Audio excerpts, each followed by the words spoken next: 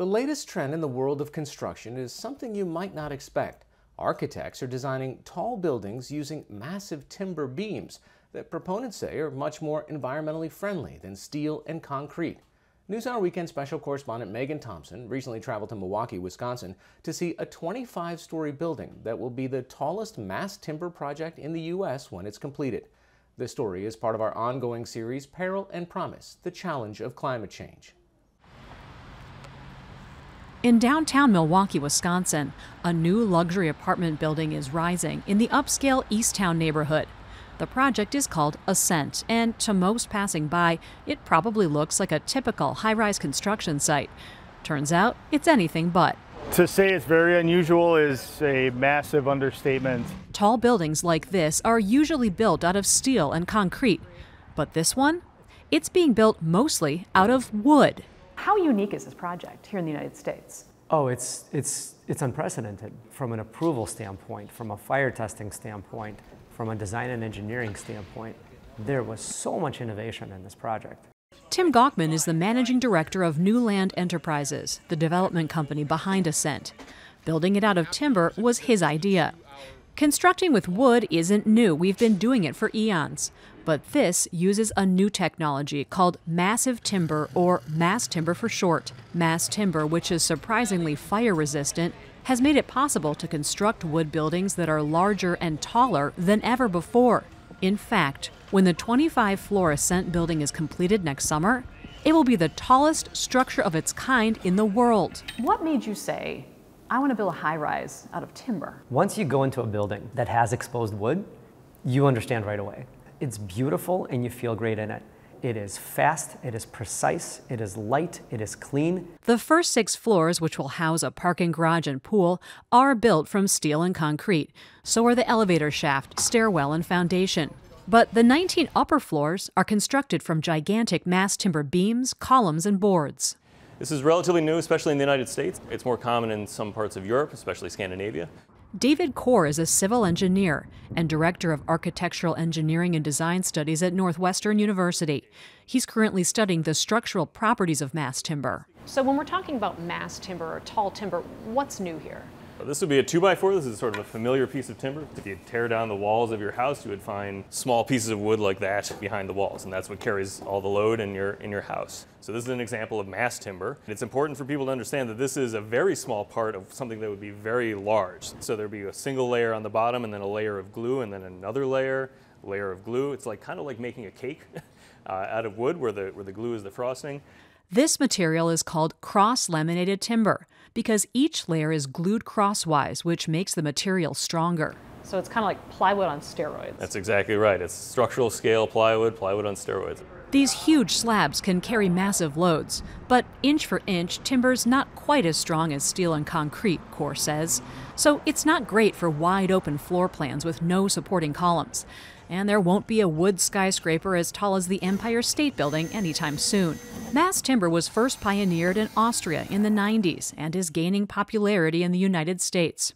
In 2013, the U.S. had 26 mass timber buildings. Today, there are 576 built or under construction, and several hundred more are in the works. There's a lot of appealing attributes to mass timber. One of them is the sustainability uh, aspect. So, uh, one of the downsides of concrete and steel is they have a lot of what's known as embodied carbon. Meaning production of steel and cement is very polluting, contributing somewhere around 15% of global carbon dioxide emissions.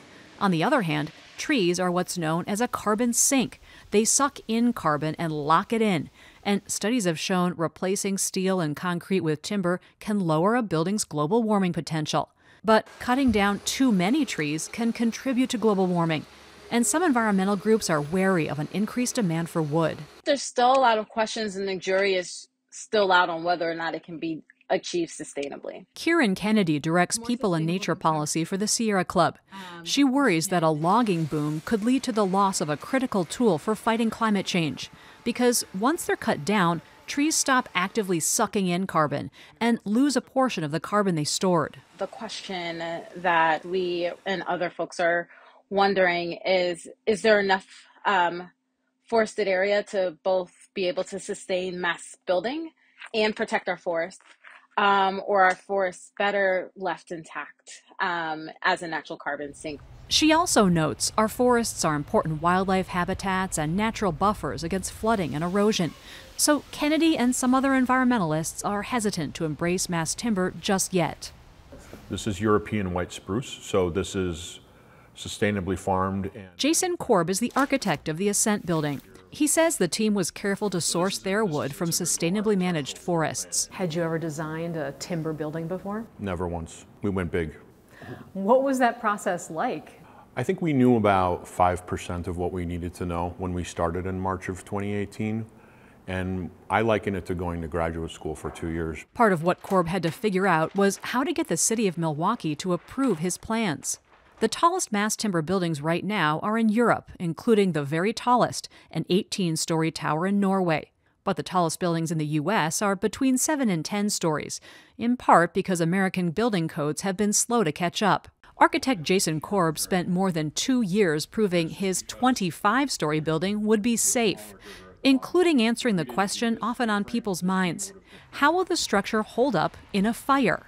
The Ascent team worked with the U.S. Forest Service to do extensive fire testing, the first of their kind ever conducted. Nine wood columns were burned in a furnace for three hours straight at temperatures reaching more than 2,000 degrees. Mass timber doesn't burn. It's very different from your standard 2x4. It chars. That charring layer actually acts as insulation, protecting the rest of the wood. The Ascent columns charred and held up.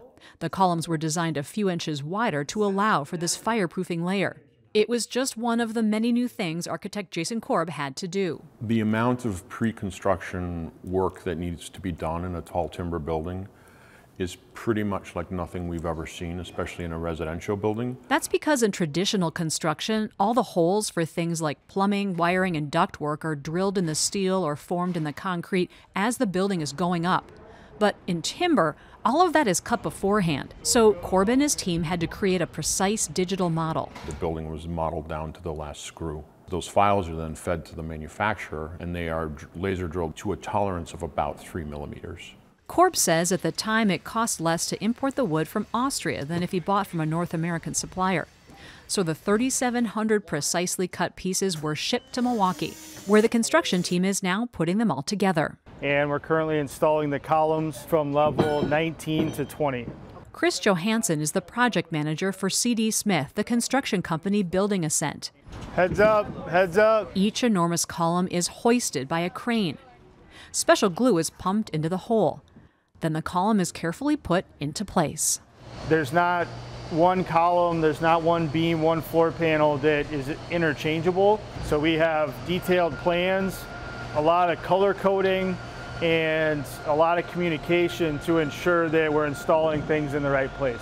All the wood is treated with a waterproof coating, and the building's glass facade will protect the timber structure inside, where about 50% of the wood will remain exposed.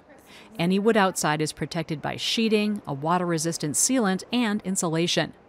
Assembling the structure is comparatively quick, at least four months faster than if this was all steel and concrete. And Chris Johansson needs less labor for this part, about a quarter of the workers.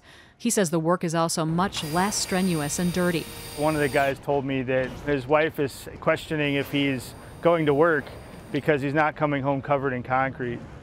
Fewer workers and a faster job mean big savings on construction costs. But the wood itself isn't cheap. Architect Jason Korb estimates it's about 10% more than what you'd pay for concrete in Milwaukee. But that price might start coming down as the supply in the U.S. grows. The Canada based company Structurlam opened its first U.S. plant this summer in Arkansas, a few hours from Walmart's headquarters. That's because Walmart is building its new corporate campus out of, you guessed it, mass timber 2.4 million square feet of office space. It's not just my hope, but my prediction is that it's a matter of time until the United States overtakes the rest of the world in production, in assembly, and in the use uh, of buildings like this. From the avalanche of interest, Tim Gokhman says he's gotten an ascent. He could be right. He's already rented nearly 10% of the units. Normally, he wouldn't have even started leasing yet. Ascent is slated to open next July.